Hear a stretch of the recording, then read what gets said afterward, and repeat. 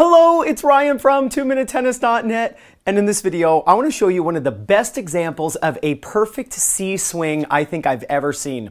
Check out this footage of Radek Stepanek, former number 8 in the world in singles, number 4 in doubles. This video is courtesy of Essential Tennis, so thanks guys for allowing me to use this footage. Just look at the perfect circular swing he is using, where it looks like his racket is drawing the letter C. This is one of the most classic ways to swing the racket on the forehand for both racket speed, so you can generate spin and pace, but also being able to handle a fast ball coming in. See, when a ball comes really fast to you, you want to use a swing that doesn't require you to stop the racket. So see, if you take your racket down, your racket has to stop. If your racket goes straight back, it has to stop. But if you draw the C, so it looks like I'm drawing a letter C here, if I use the C swing, the racket never has to stop. And that, yes, it allows me to hit with pace and power and depth and spin, but it also allows me to handle a very fast ball coming in. Because when you draw this letter C, the racket doesn't have to stop to get up to contact.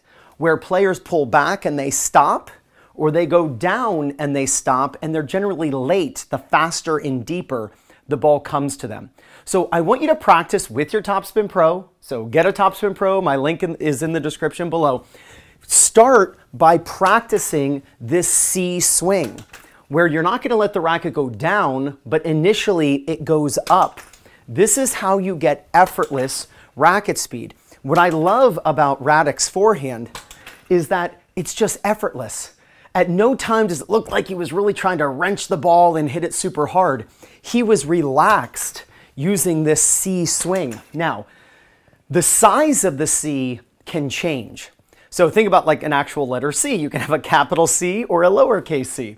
So you can take the racket higher for more racket speed, or you can make a smaller C to be able to handle the pace.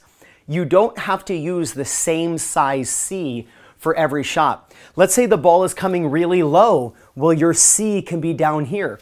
Let's say the ball is really high. Well, then your C is going to be up here. You can modify the letter C and the size of it and the height of it based on the contact. But learn the C swing the way Radek Stepanek used. And there's no doubt you're going to gain confidence, win more matches, and play much better tennis. This is Ryan Reedy from 2MinuteTennis.net. You got this.